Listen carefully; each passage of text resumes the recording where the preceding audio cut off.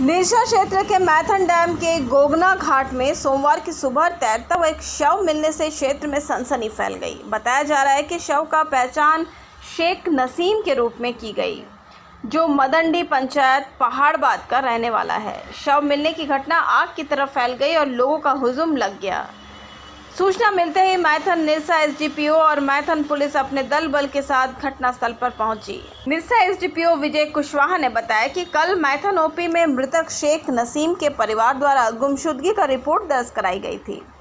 Police द्वारा जाँच पड़ताल खोजबीन की जा रही थी। आज ये जानकारी मिली कि मृतक नसीम शेख का शव मैथन डैम के पानी में मिला है। वहीं बताया जा रहा है कि मृतक कल अपने दोस्तों के साथ शराब का सेवन किया था। उसके बाद सभी दोस्तों के साथ स्नान के लिए मैथन डैम आया हुआ था। अब ये पुलिस जानकारी में लगी हुई है कि मृतक स्नान किया या नहीं, कैसे उसकी मौत हुई। फ़िलहाल पुलिस हर बिंदुओं पर जाँच कर रही है। वहीं मृतक की पत्नी ने बताया कि हमारे गाँव के कुछ युवक हमारे पति को कल घर से बुलाकर ले गए थे। काफ़ी देर हो जाने के बाद जब घर नहीं लौटे तो मुझे अंदेशा हुआ और खोजबीन जारी किया। आज गाँव वाले से सूचना मिली कि मेरे पति का शव मैथन डैम में मिला। मैं यकीन के साथ कह सकती हूँ कि मेरे पति की हत्या हुई है। तो किसी के चाय पिया निकला।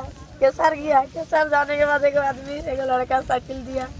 हमने बोला आ जा आ जा शाम हुआ, एक गमछा दिया। मैं ले गमछा आया। हम लोग ना, अभी नहीं आया।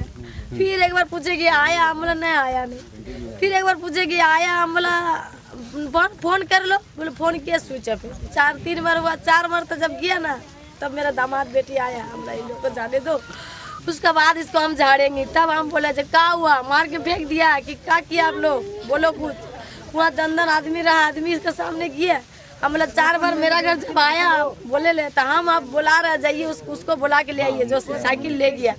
वो गया नहीं हम उसका घर दिए। उसको बोले हम लोग कौन साइकिल दिया? नहीं हमको साइकिल बोला पहुँचाने नहीं हम पहुँचा दिए। हमने किसका साथ किया? बोला हम देखा नहीं। तब मेरा भाई आया फिर मेरा भाई को बोला ऐसा ऐसा बात। तब वो पूछे अच्छा, गया। तब मेरा भाई फिर फ़ोन उन किया फिर पूछा हुआ तब ये सब हो गया। आप उसको पहचानते हैं? कौन था वो? मेरा भाई पहचानता है बोल पहचानता मोही बोले बात किया ले आया। कल से लापता था समझे ना?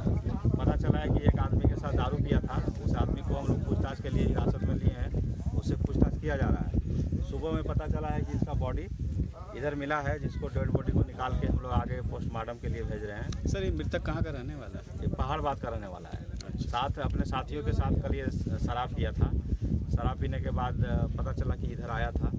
और इसका दोस्त बता रहा है कि हम लोग नहाने करके आए थे और उसके बाद ये मिसिंग हो गया। फिर वो नहाया भी तो एक आदमी और है वो नहाया। लेकिन ये नहाया कि नहीं ये अभी कन्फर्म नहीं है। इसका हम जाँच कर रहे हैं कि ये कैसे पानी में डूबा। सर प्रथम दृष्टि आपको क्या लग रहा है? इसके बारे में हम प्रथम दृष्टि अभी नहीं बोल पाएँगे क्योंकि ये थोड़ा सा हमको हट के लग रहा है। तो अभी हम नहीं बता पाएँगे जाँच के बाद ही ये कह पाएँगे कि आ, किस तरह का